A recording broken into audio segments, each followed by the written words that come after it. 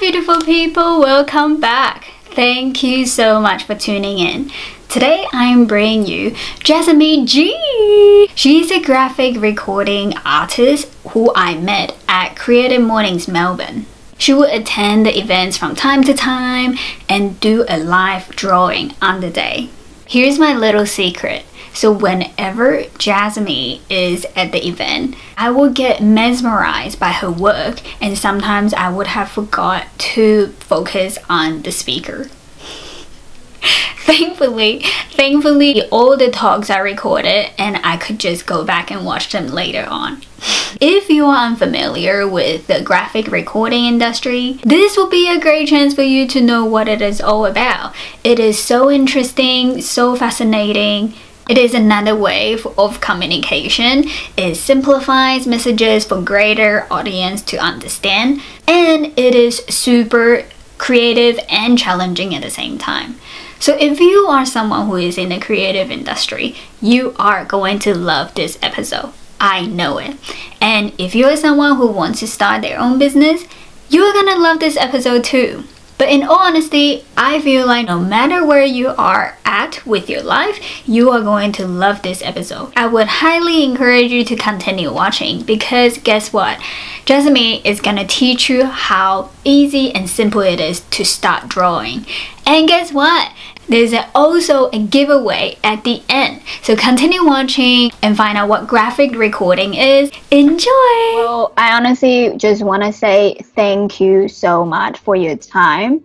And thank you for being on here. Thank you for sharing your story. And thank you for helping so many creatives. So thank you.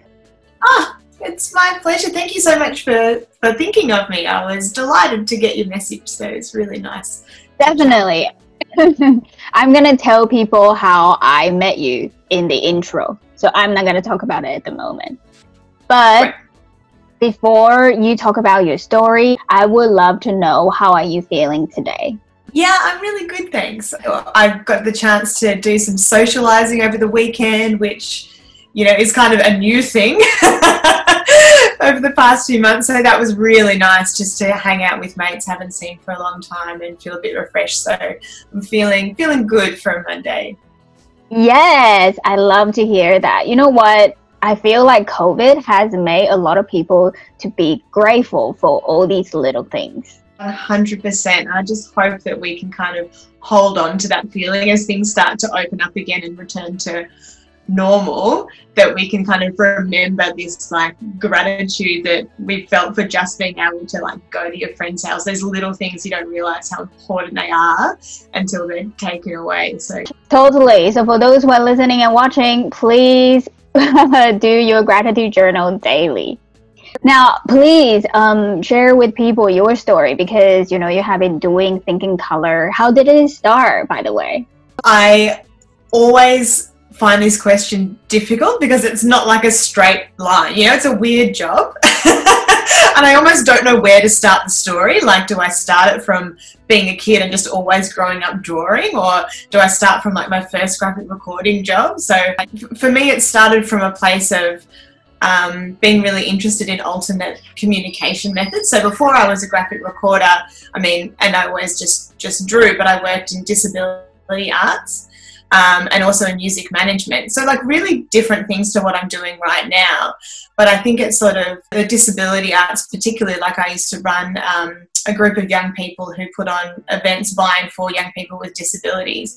And in that group that we uh, ran, had this really diverse range of um, abilities and disabilities, and some people who were non-verbal, some people who found it really, really hard to sit and listen for half an hour. Um, so trying to find ways to communicate to this group of really different people and allow them to communicate with each other, I think sort of spurred this interest in how we communicate with each other and how visuals particularly because that became a big part of it how they play a role in our communication. So that's sort of where it all started from for me in terms of the first seed of a thought in it. And then through the music management side of things that was kind of like a toe into the corporate world. You know, we did a lot of corporate events and that sort of thing, just to sort of have an awareness of what was happening in that space, what, you know, around conferences and workshops and stuff. So I feel like those two things kind of came together. Um, and I was working for uh, a woman who ran conferences and stuff just part time, doing some part time design work and stuff for her. Um, and she runs a conference called Creative Innovation. So the very first one of them was in 2010. Um, and I met a guy there who was doing graphic recording, and I was like, wow, this looks terrifying, but awesome, and was sort of really um, of interest to me because of the other things that I've been doing. And um, so I kind of kept that in the back of my mind a little bit, and then an opportunity came up to, to through this woman who ran this conference um, for a client of hers that wanted a graphic recorder, and this other guy wasn't available. And she was like, "Do you want to give it a go?" And I was like, "Yeah." okay, so I just sort of like dove right in there, um, and I loved it instantly. Like I, I think it's something that was creatively satisfying. It was intellectually satisfying. It's scary, and you get that that satisfaction of doing something that you're scared of and the world not ending. And it, yeah, I loved it pretty much immediately and then was put in touch with um, a company, uh, a, a, business unit called The Difference, which is now owned by PwC. Um, they'd just been bought by PwC at that time. And essentially, they use graphic recording as part of a wider facilitation process called MG Taylor. So, MG Taylor has been around since the 70s. They're from the States, a couple, Matt and Gail Taylor. Matt was an architect and Gail was a primary school teacher. And sort of taking bits from both of their backgrounds, they developed this methodology, facilitation methodology for rapid problem solving. So, as part of that, you've got these teams of sort of probably, I don't know, six to 18 people you might have working an event as one facilitation team with different roles. So someone is in charge of um, the way knowledge moves in and out of the space. Someone's in charge of how you set the physical space in terms of how you move people around and the experience you want them to have. And someone is in charge of the visuals and graphics. So they do the live graphic recording as well as like theming of the space and all this different stuff. Um, so that's where I kind of started learning, like learning on the job, which is amazing to be able to do. Um, and then quickly realized that while the facilitation methodology is really interesting, the bit that I really love was doing the live graphic recording. So I started doing more of that um, on my own outside of the, the MG Taylor world. Um, and then it all kind of went from there. But yeah, it was it was love at first sight for graphic recording. I love it. That you're so brave. Wait, by the sound of it, have you always been in the creative industry? Yeah, pretty much. So my first like real job that wasn't at a call center or a chicken shop or um, was was in music management. So while it was in the creative industry, like I started just as the person who answered the phones, but um, but interestingly, in my first, I think I've been there maybe three months. This is a very small company, but everyone quit. Oh, after a couple of months. It was, to be honest, like it was a. Um, my boss was a notoriously difficult person, as many senior people in the music industry can be, or certainly were at that time. Um, so it wasn't uncommon, I would find, in the next few years for people to suddenly quit that job. Yeah. Was um, I very quickly went from just being the person that answering the phone to doing all of the like artist management and booking and tour management, that sort of stuff for, for this very small company. So yeah, so in the creative industry, but not necessarily a creative role. I was 20 when I started that job, and I'd been working uh, at a call center for a market research company. And I don't know if you've ever worked at a call center, but it is one of the most soul destroying jobs. Particularly doing market research because you'd be called like cold calling people, asking them to do like 20 minute surveys on white office paper, and it was just the biggest drainer you can possibly imagine for me and for the poor person on the other end of the phone. Anyway, so I probably worked there about a year, maybe. This was after I, because um, I, I went I started uni after school, but then did a semester. Was like, nah, I'm not really into this, went and did the travel thing, came back, did about six weeks of the, of um, the course that I'd deferred and realised, no, this is still not for me. So this around this time, I'm just kind of like wandering around. Yeah. looking for looking for some inspiration, but because that job was so awful, um, when I when I left it, um, I was like, the next job that I get, I don't care what it is, I don't care if it's cleaning toilets or answering phones or doing data administration. I at least want to be like in the realm of something I give a shit about. You know, so at least be in the right industry, whether it's yeah, like cleaning windows, whatever. I just want to want to start with something that I have some investment in. But yeah, so always around the the creative world, yeah, which is a conscious decision to make. Yes. Thank you so, so much for sharing that story because I feel like for those who are listening and watching, sometimes people get, uh, what's the word for it? Because they always look at the people's success and then they don't hear the backstory. And now you're really sharing, you know, what you have been through. You were in the call center. Yes, it was awful, but that is something that you needed to do. And I'm sure you have learned a thing or two because you said the boss was terrible. and now you probably learn a few things about how to be an amazing boss. I, you know, I think about it all the time. Is that what I really learned at that job? Is what kind of boss or what kind of leader I don't want to be. Yeah. I never want to be. And I think it probably also played a role in me not wanting to have a boss. yeah. um, you know, to, to be in control of, of my own time and um, my own space and my own projects. I think that probably did play a role. You know, I joke that like I've never had a real job. Yeah. so, like that was, you know, really my first kind of um, paid job in, in, in an industry that I was um, uh, interested in. Yeah, I think Yeah. it probably, I definitely learned a lot. And this is the thing, like all of these experiences that you have, the shitty jobs, the things that don't work, um, it all, it's all just movement on the pathway to to something better. You know, it's it doesn't Yes. really matter what you're doing as long as you keep moving you're continuing to learn what you do and don't want to do and learning what you don't want to do is just as important i think as learning what you do want to do I feel that perhaps you have been in the creative industry maybe because of your upbringing, because your household is quite artistic, right? Yeah, yeah, they were. Yeah, so my mum was a, a, writer and an artist, a beautiful illustrator. My sister still works as a graphic designer. And uh, my dad was an accountant, so he kind of let the team down a little bit there. but he's actually also very creative. He's a great photographer in his own right. But um, yeah, we used to joke that whoever got partnered with dad at Pictionary drew the short straw. yeah, it was just, it was always a part of um, our house growing up was just do it, you know, making things, drawing things. I remember my mum taking us out in the backyard to paint pictures of our dolls and stuff, you know, it was just part of what we did as activities when we were kids was always drawing and making stuff. Yeah, I love it so much because I feel like not every household is that artistic. And also because technology sort of is so ingrained in our life now. Um, a lot of kids they don't really have the opportunity to use their hands. Yeah, So- yeah, it's true. Yeah. So how do you think you know we can ingrain uh, more creativity in our everyday life now?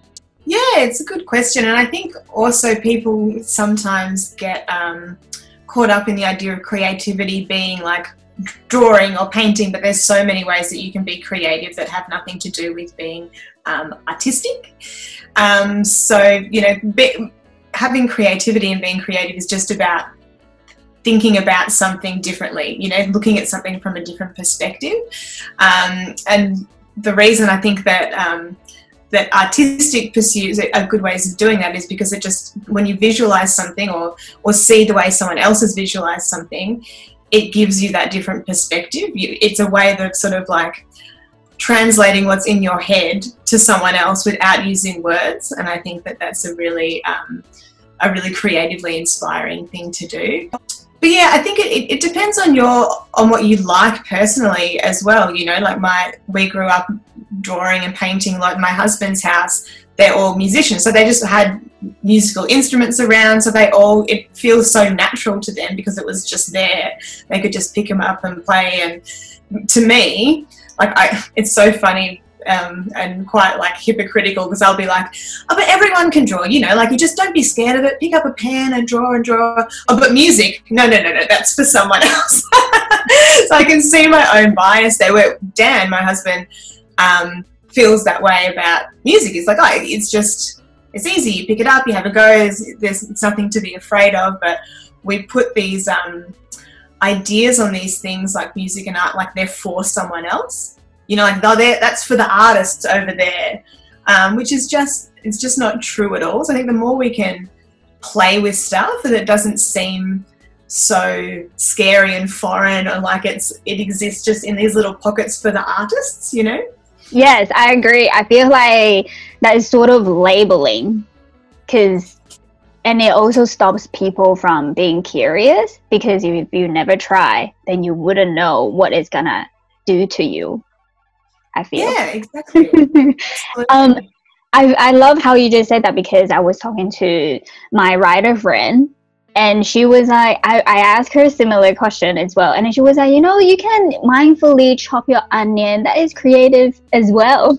Because then you can you know chop it in a different way or whatever. I'm just like i love it. And i would just i just kept on laughing because of the idea how simple it is it's so true. It's it's just any any task, anything that you have to do, just trying to look at it from a different perspective, or you know, drive home in a different direction, or whatever. You know, just those little things that deviate from the norm. Um, yeah, love it. Creatively chopping an onion, beautiful.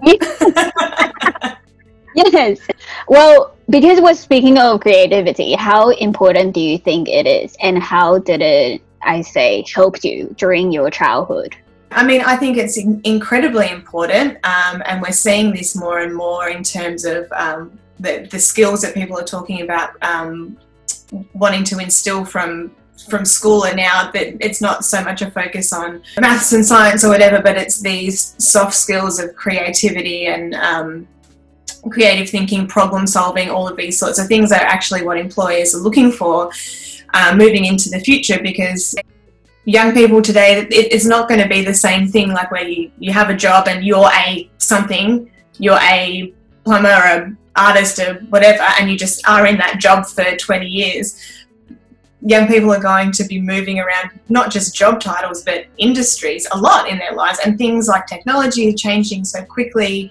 Um, that that ability to be creative, to be responsive, um, critical thinking. The, these are the most important skills that we can have that are transferable between one job and another. So I think it's um, of utmost importance. And I've really seen it um, in the past few months during COVID, like the ability to to think outside of the box and be like, okay, well these these are my skills. How can I apply these in a virtual world? How can I flip this a little bit or pivot as the word of the moment is yeah. um, you know and that having that um, ingrained creativity or not, or not being afraid to give things a go and in fact i think that's probably one of the key things for me has been when you when you create a, a, habit of creativity or a habit of giving things a go it becomes so much less scary and the more you fail almost, the, the, easier it gets because you realize, okay, well, the world can come crashing down.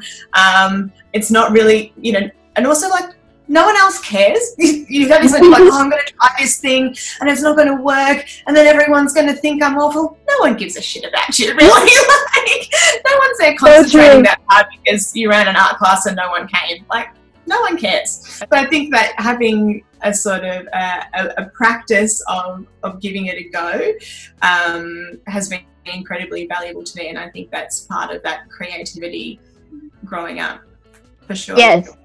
Yes, I love it. And I love the way that you said it because I just really think that people need to live outside their bubble sometimes.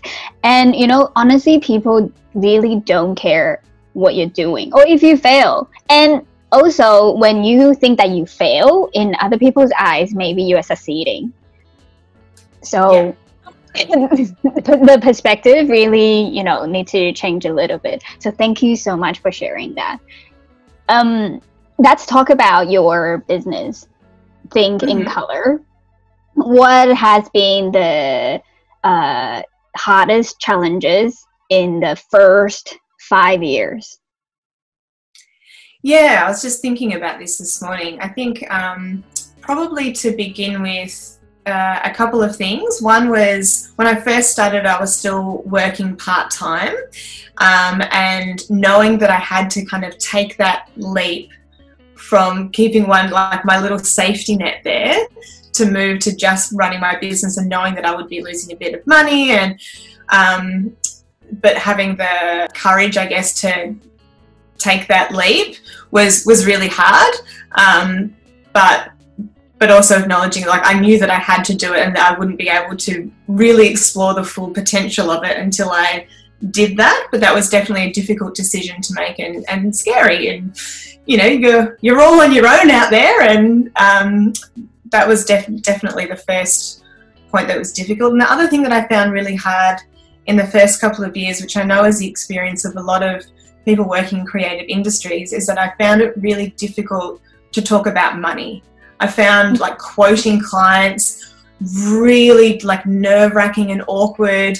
I just, because uh, I had no experience of it really, that I just, I really found it difficult to to value myself appropriately um, and have the confidence in talking to clients about that, which did develop. I have no problem with it now, but you know, it took a long time to to really develop that confidence, and I know that that's um, that's really common for people who are working as you know illustrators artists musicians to value yourself properly in that way can be really tricky and i guess those sort of general business skills that you don't I haven't done a course in this or anything so it's like you know working that stuff out as you go the administration of it yes yeah I love the points that you share. I just want to say thank you for being brave and stepping out of that comfort zone that you had because you honestly have helped so many people. So thank you so much. And for those who are listening and watching, please, you know, she's right. Like you sometimes just gotta be brave and courageous and be in the discomfort. Is that your dog behind you? Oh yes, come here, Chi Chi. So, this is the light of my life, Chi Chi the Chihuahua. Hi, Chi Chi! and she's been the real winner out of lockdown because she just gets cuddled like twenty four seven. I bet. well, thank uh, nice meeting you, Chi Chi. and the second the second point that you mentioned, what was it? uh, the quoting thing. Thank you very mm-hmm. much for quoting that. Will you add um, Emily Cohen's talk? Yes. Oh, how good was it? Yeah, fabulous. I, yes, I honestly feel like whatever she has mentioned is so true. Like you, when you are trying to prize yourself, it's the love that you are putting into your own work. And I feel like that is not just in creative industry. Like I feel like a lot of industries as well. Like for example, when someone they want to ask for a pay rise, they then undervalue themselves as well, etc. So honestly, thank you so much for bringing those two points up. Um, but you know what? Everyone dream to be an entrepreneur or being a freelancer, and you know what? You have really portrayed the whole story of being a entrepreneur and how much work it goes behind it and time and etc but people only look at the beautiful side. So for those who want to own their own business what would be the top three things that you want to say to them before they cash out all their savings? Um, yeah a few things. Well i think firstly is the the point that i have already made around like t- taking that leap and being all in. I think you really have to be prepared to be 100% in it, whether that whether it works or not. If you don't, um, don't put 100% of your energy into that thing, you, are never going to be able to see how far you can really go with it. So that would be the one thing. Be, be prepared to be all in. Uh, the the other thing I think you know we people used to talk a lot about this idea of work life balance, but I think it's probably more like, particularly if you're working for yourself, a work life blend, you know? So I don't really think of, because I, I mean, I'm very lucky in that I really enjoy my work, but um, it's it's part of my my work is part of my life and my life is part of my work i don't see them as hugely separate things um, and as long as you take enough time to rest and look after yourself and all these sorts of things, I actually don't think that's a bad thing. And I almost think you need to have a little bit of that if you're in something for you yourself. Like you have to be prepared for it to be a big part of your life and um, and potentially a big part of your identity as well. Um, uh, and then for, and finding the right balance of things that works for you. Like I've experimented with different, like being in a um, co-working space, having a studio outside of home. Now I've got my studio in my house, which I love, but I think I couldn't have done that when I started out. I needed the structure of going to a place and like putting my work clothes on and you know feeling like I was going to a proper job to be able to um, I think convinced myself that it was real. You know, yeah. They're like, yeah, no, you do have a job. You're doing a, you're doing work. but I think yeah. you know, after some years, I found I didn't really need that anymore.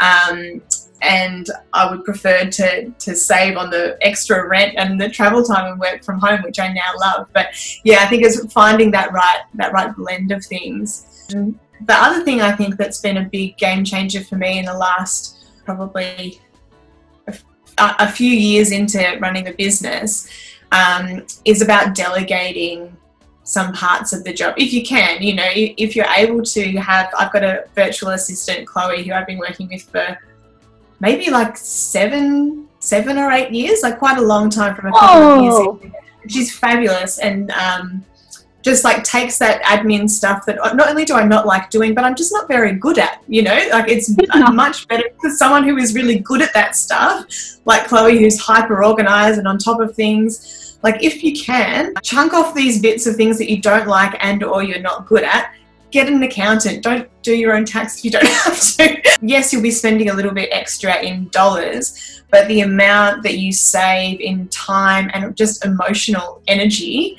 is so 100% worth it, you know, and might take a little while to build your business enough so that you've got a little bit of extra money to do those things. But I found that um, not only was I much happier once I got some people to to do some of the bits of the business that I didn't enjoy doing so much, but actually my business became much more successful because I could take on more of the work that I enjoy. Um, so the turnover ended up being higher as a result of that too. So yeah, I think identify the bits that you're that aren't your thing, find people whose thing it is, and let them do their jobs. yes, I love them. And you know what? The first point that you point out, the give you be prepared to give a hundred percent. That reminded me of the talk that I had with um, this guy. His name is Max Burton so he, him and I would talk about, you know, putting 110% effort and etc. It's not just your business, also, you know, the relationships that you have with your friends and family and etc. But if you don't want to put in 100%, then don't expect that you are going to get anything back. yeah, absolutely. Yeah, and then the other point that you just said, the virtual assistant thing. Actually, can you please tell me like what exactly does she help you do?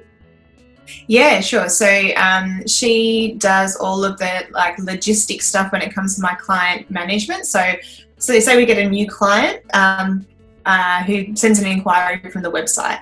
So I'll be the first first person to field that because there's a lot of like weird specifics of of our job, and for a lot of people, it's still if you're hiring a graphic recorder, it's often the first time they've used it. It's still a new thing for a lot of people. So I find it's important for me to always have the initial conversation with the client so I can get to know them a little bit and what they need and blah, blah, blah. Then Chloe will take over that booking at the point where it's confirmed. So I'll have an initial chat with the client. They'll be like, great, cool, we'll go ahead with this conference for these dates. And that's when Chloe will come in. So she's got like a standard um, logistics email that she'll send to the client um, which will be stuff. Okay, so now in COVID world, it's all pretty straightforward because we don't need details about venue or parking or any of that sort of stuff. Mhm, But that's mhm. part of what she would historically do. She'd send them an email um, confirming venue, arrival time, contact on the day, all of that stuff.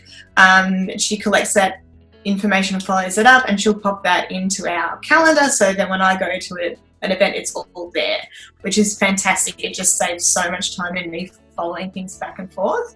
Um, so she does that. She also does all of the invoicing and the following up of invoices. Um, she'll do other administrative things like um, new supplier forms, that kind of a thing.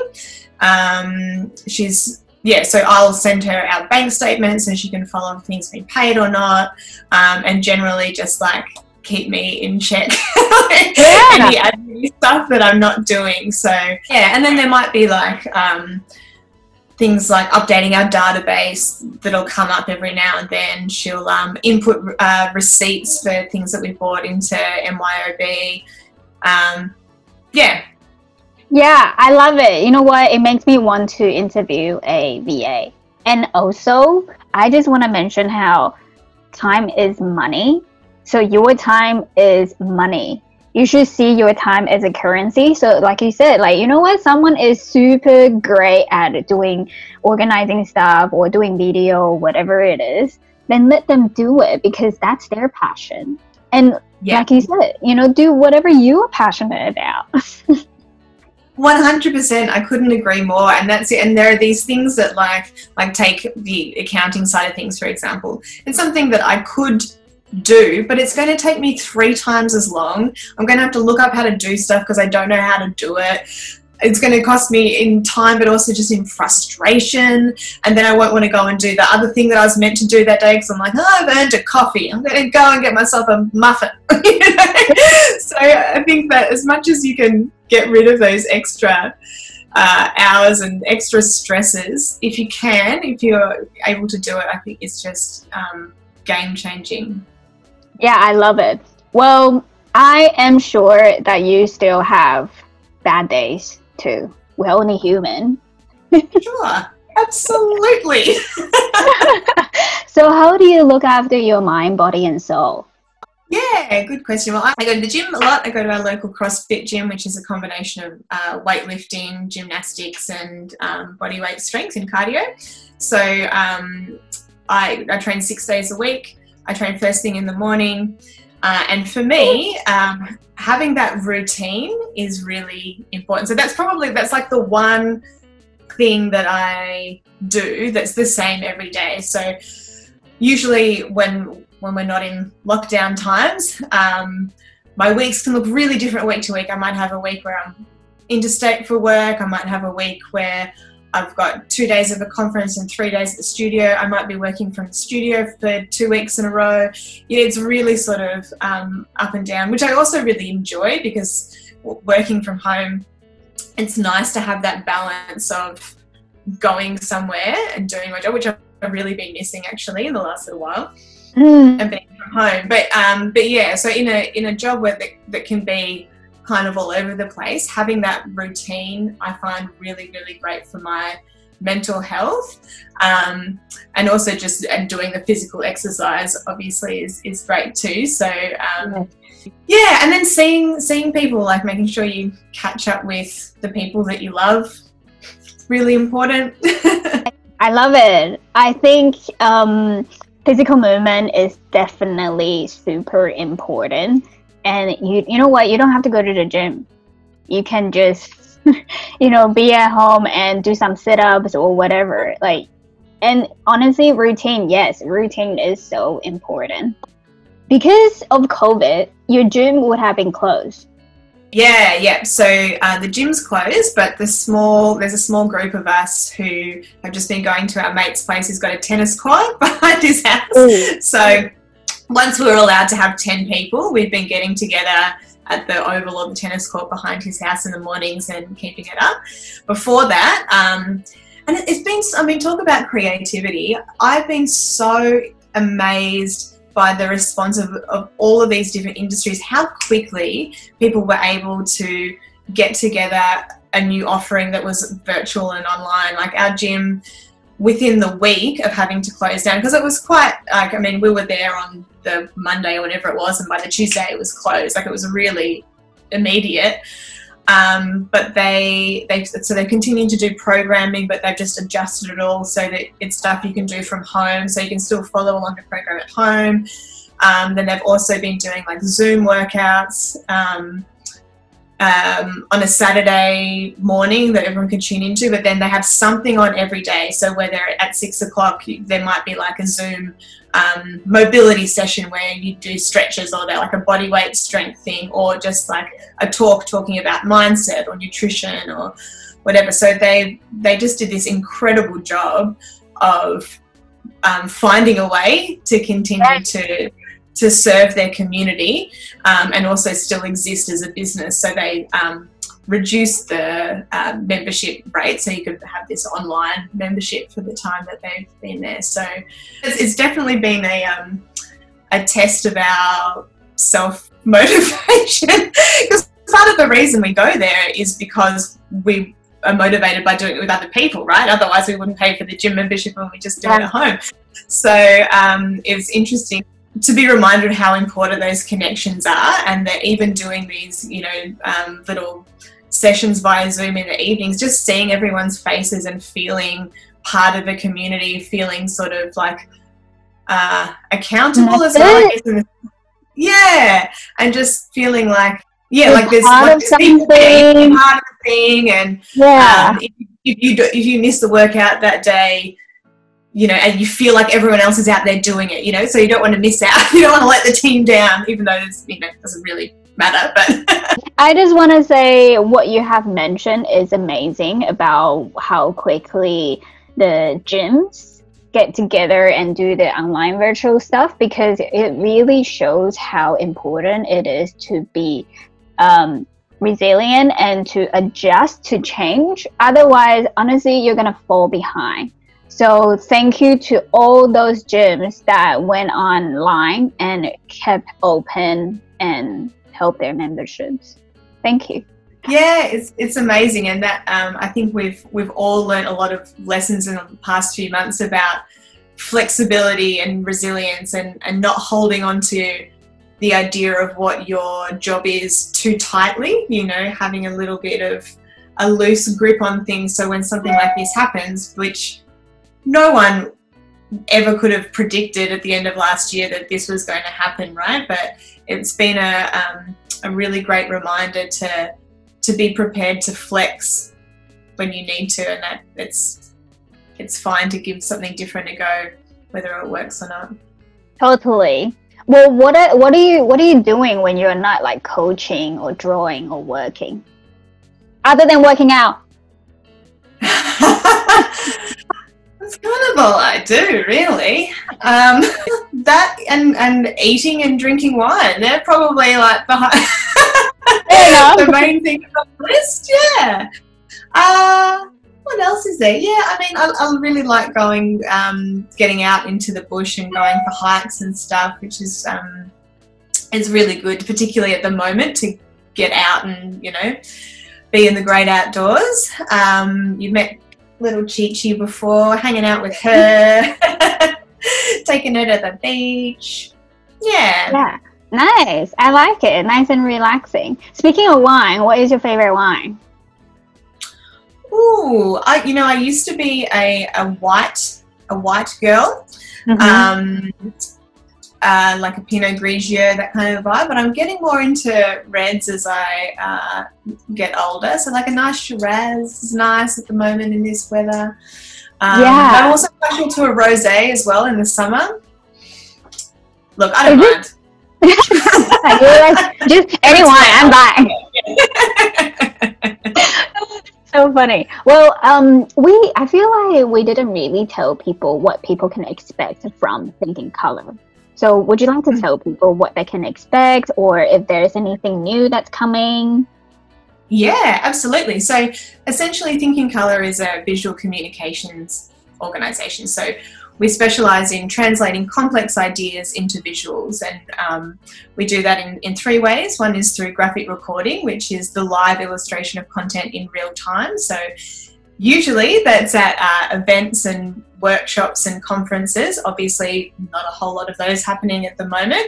Um, what I have been doing in the last few months uh, is doing that in the virtual space. So whether you've got online workshops that are on Zoom or webinars, uh, it works exactly in the same way, uh, except it's obviously digital and, and virtual. So uh, I'll be live drawing on my iPad connected into the Zoom call or the webinar or wherever, and people can can watch that happening in real time, like you would in a in a in person conference. And I, I sort of had this sneaking suspicion when um, COVID hit and all of these things were trying to move into the virtual space that graphic recording might even be more valuable in this space. And and now I'm I'm convinced of it actually that it is because we're spending our whole days like this in Zoom meetings, looking at people's faces, and, and, to have something that's just a little bit different, like we were talking about earlier, just like offering a different perspective,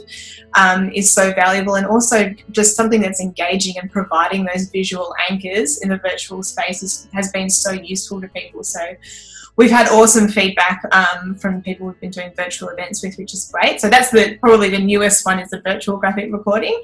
Um, we also do videos. Uh, so hand-drawn videos um, and and other illustrations and infographics. So it's it's all all the same kind of idea, which is this idea of translating written or verbal content into um, into visual. So whether that's live in the room at a workshop or whether that's from a brief um, to create a video or an illustration, it's the same same kind of vibe.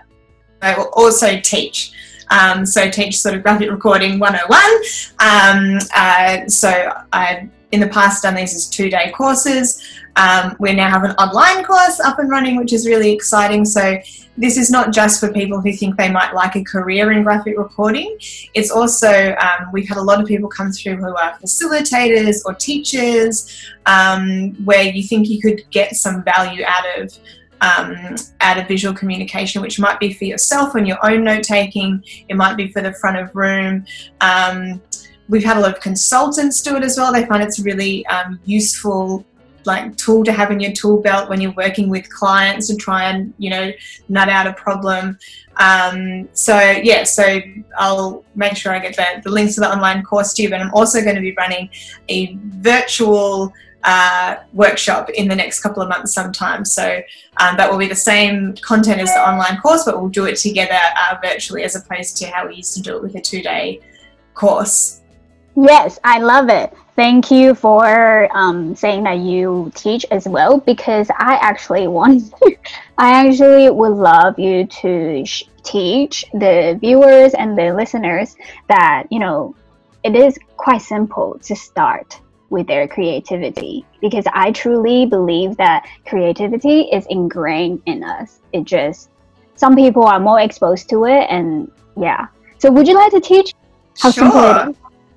Yeah, what I'll do is I'm just going to pop my, um, my camera onto my iPad. Yep. So one of the um, things I think you know, and you're so you're so right in saying that um, creativity is in us, and that, like I was saying earlier, we sort of think that it's like just for artists or people who can draw, and we get conf- we sort of have this um, this confused message that um, that it's like magic somehow, like being able to draw is something that you do or you don't have. But mm. in like any other skill, it's just practice over time. And so yeah. you can learn it just like how you can learn to play the trumpet, just like how you can learn to do a tax return.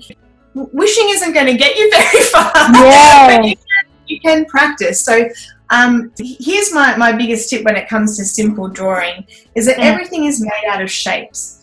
So the yep. best thing you can do is try and identify the shapes that something is made up of. And that's a really good way to to break it down to be able to know how to draw it, but also remember how to draw it. So a lot of the time it's just uh, a memory exercise, but breaking it down into the shapes can can be a good way of of um, of remembering what a thing looks like. So say if you've got uh, a bus, a bus is essentially a rectangle. And then it's got a couple of circles.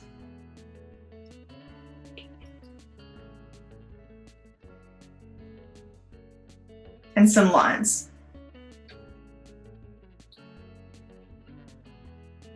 Right? See, and that's not a perfect, like, beautiful drawing, but you can tell that that's a bust, right? Yes. Yeah. And then if you think of something like a chicken, it's mm -hmm. kind of like a uh, semicircle. Oops. I love it. Um, or a a cow is actually also square. You might think of a cow being sort of more rounded, but a cow is actually really square. And it's got a squarish kind of head. so cute. You know, so these things they don't have to be um, really detailed to get the point across. So you're just looking at Yes. what shape is something made up of and what are its distinguishing features. You know, so for a cow, having the you know horns and ears or spots help us recognize that it's a cow. Um, so it's it's really not that um, not that scary. if I try agree. way. You just yeah, breaking it into shapes and um, and keeping it as simple for yourself as possible is a really interesting thing. Moving into graphic recording from being someone who always drew, you have to let go of a lot because you're doing stuff in real time. It's really really fast. It doesn't matter if it's a perfect bus or a perfect cow. What matters is that people understand that that's what it is. So um, it was actually quite liberating, like letting go of a lot of this perfectionism that can come when you're creating your own art.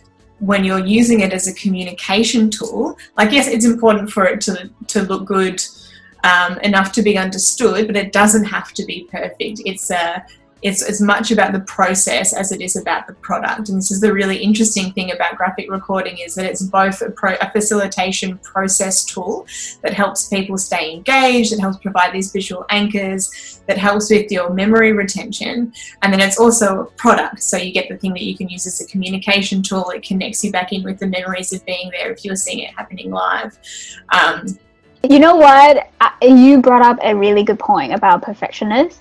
People get paralyzed uh, wanting to be perfect. But I just really want to share with everyone that's listening and watching that perfect is a standard that you are, I don't know, sort of limiting yourself. Because if you want to be perfect to whatever the state that you think it's perfect, then you will keep on postponing whatever you want to do. And you know what? Like you said, like people just need to understand what the message is. It is. So, and also you will keep on continue to improve yourself. So don't yes strive for perfect, but always give it a try. And thank you so much for sharing how easy it is.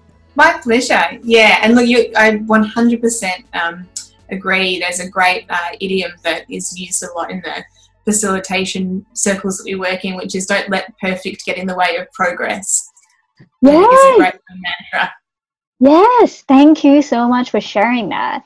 And well, before I ask you my last question, do you feel like there's anything that we didn't talk about or you would like to say? No, I feel like I've talked a lot. Never enough. Nothing pops to mind. I guess that um, definitely my, my biggest learning in the 10 years of running this business or the um, thing that's made the biggest difference to me is this idea of just like just say yes just give it a go. Like that first graphic recording job that came um, into my path i had no experience and i easily and i was i was terrified don't get me wrong. Just because you do it doesn't mean that like it's it's a pleasant experience necessarily doing the scary thing but um, this has been a, a, a constant sort of theme is this idea of like say, say yes and work it out later. Like when we first started doing videos um, and dan does the video production for us it came from people continuously asking when i was doing graphic recording work do you guys do videos? Because they'd seen that style of hand-drawn videos. So eventually i just said yes and was like all right dan we got to work out how to do videos. but yeah, just the saying yes, saying yes and working it out later um, has been um, a big part of my journey. Yeah. I love it. Have you seen The Yes Man? It's a movie. No, no, I haven't. Oh, I, I think you might like it. So for those who are okay. watching and listening, I would also highly recommend you to watch that movie. All right, awesome. Put on um, the list.